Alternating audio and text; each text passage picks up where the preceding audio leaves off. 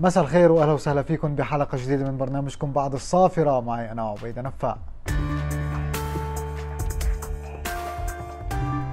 الحديث اليوم عن التحكيم في إسبانيا وقبل ما تبدأ الانتقادات طول بالك اسمعني للآخر وما راح تكون أنا مبسوط.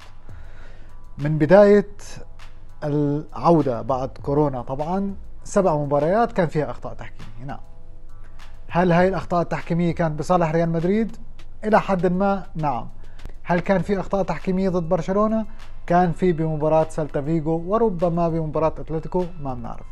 ولكن هل فعلا كان في تحيز لريال مدريد؟ لا.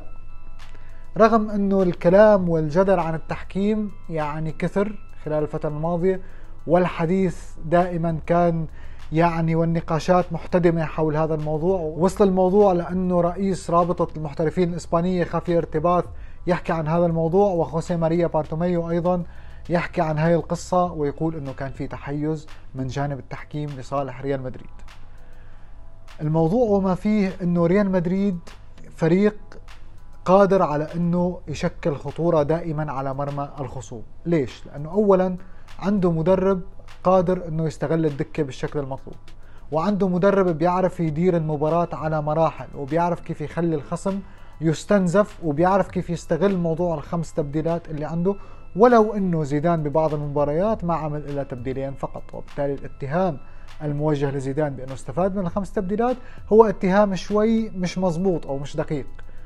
بالمقابل برشلونة فريق وضع حاله تحت رحمة التحكيم وضع حاله تحت رحمة أخطاء التحكيم. كان في مباريات كان ممكن يحسمها بسهولة جدا وكان ممكن يخلص المباراة لو عنده دكة بدلاء جيدة تساعده ولو فعلا لاعبين الخبرة بالفريق ما خذلوه. شفنا ريال مدريد لاعبين الخبرة هن اللي عملوا الفارق دائما. بالمباريات الكبيرة بينما ببرشلونة كان العكس تماما. القضية وما فيها أنه أخطاء التحكيم دائما واردة بكرة القدم. ربما بموسم من المواسم بتصب بصالح ريال مدريد بموسم آخر بتصب بصالح برشلونة. وما بنعرف الجدل اللي صار بال 2009 و2011 و2012 بالفترة الذهبية لبرشلونة والاتهامات من جمهور ريال مدريد بأنه برشلونة كان يعني على علاقة طيبة مع الاتحاد الأوروبي وبالتالي كان بده يخليه يفوز بطولات ويساعده عبر التحكيم بهذا الموضوع.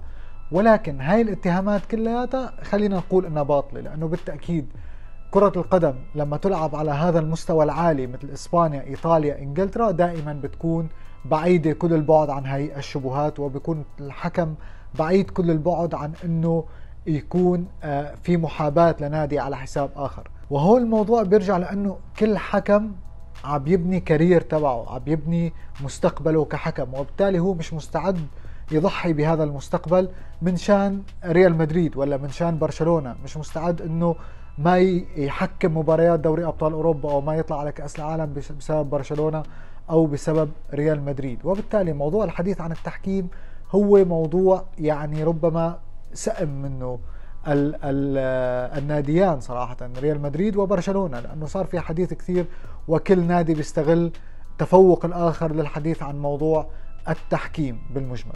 في قصة لازم نحكي عنها ولازم الناس تفهمها منيح. قصة الفار. الفار وجد ليقلل الأخطاء التحكيمية مش ليلغيها. يعني وجود الفار ما بخليك تآمن أو تصدق بأنه ما راح يكون في أي خطأ تحكيمي. الأخطاء التحكيمية دائما موجودة حتى بوجود الفار.